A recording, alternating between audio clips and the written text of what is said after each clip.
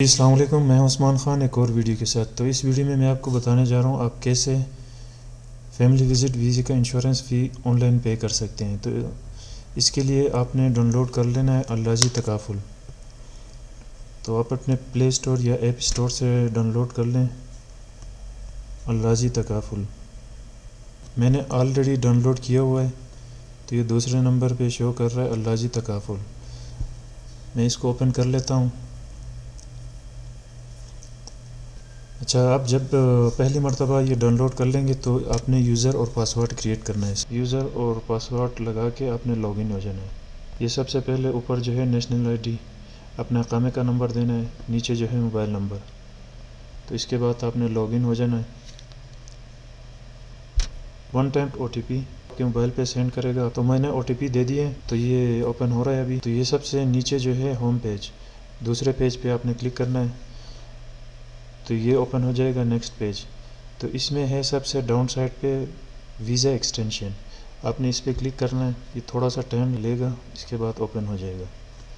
अच्छा ये next page open हो चुका है तो सबसे पहले आपने वीज़े का नंबर देना है. अच्छा इसमें बॉर्डर नंबर नहीं देना वीज़ा नंबर देना है.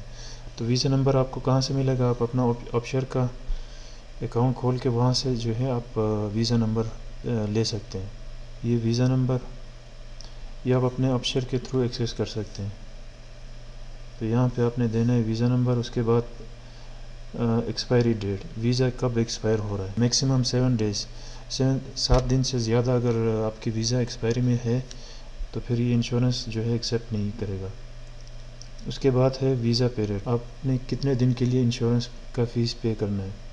तो मैं सिलेक्ट करूँगा नाइनटीन डेज़ उसके बाद मोबाइल नंबर, ईमेल एड्रेस पे अपना ईमेल आईडी देना है, उसके बाद टर्म एंड कंडीशन को एक्सेप्ट करके प्रोसेस करना है। अच्छा ये नेक्स्ट पेज ओपन हो चुका है। इसके बाद नीचे डिटेल में आए डिटेल में आ जाए। तो ये जितने ऑप्शन दे रहे हैं, आपने सबको नो नो पे सेलेक्ट करना है। नो नो को सेलेक्ट करके टर्म एंड कंडीशन को एक्सेप्ट करके स्क्रॉल डाउन करेंगे तो ये प्रोसेस पे क्लिक कर देना है। नेक्स्ट पेज ओपन हो चुका है। तो सबसे पहले जो है इसका इंश्योरेंस फ़ीस ये बाईस रियाल शो कर रहा है। ये एज के हिसाब से मुख्तलिफ़ भी हो सकता है। तो नीचे ये डिटेल आ गए। Full name passport visa number border number visa policy start date policy end ये सबसे नीचे बाईस रियाल शो कर रहा है। अपने प्रोसेस पे क्लिक करना है।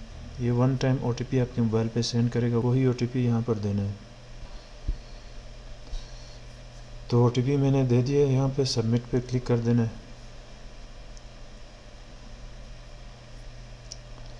अच्छा ये स्क्रॉल डाउन करेंगे पूरी डिटेल आ रही है।